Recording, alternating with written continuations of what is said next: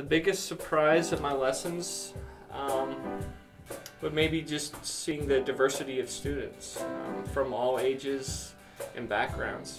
Um, it's been really cool to see that. I've been playing drums for about two and a half years.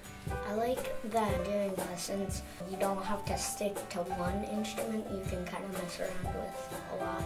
What I really like about Boise Music Lesson is that they teach music and not an instrument. I always try to uh, practice a different instrument when I come to Itmanis because I play violin and I was expecting that will be very, very hard, and I mean it is, but uh, Angie and Marcus make it feasible for everybody.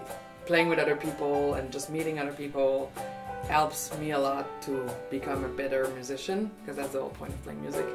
The thing that makes Boise Music Lessons different really is the flexibility and the depth of knowledge that Marcus and Angie have. If you want to play any instrument, I really think it's it's doable. You know, I think Boise Music Lessons probably found me more than I found them. And I'm so happy to be here because it's added such a great dimension to my life again. And I've forgotten how much I really liked music and being here has really added to my happiness.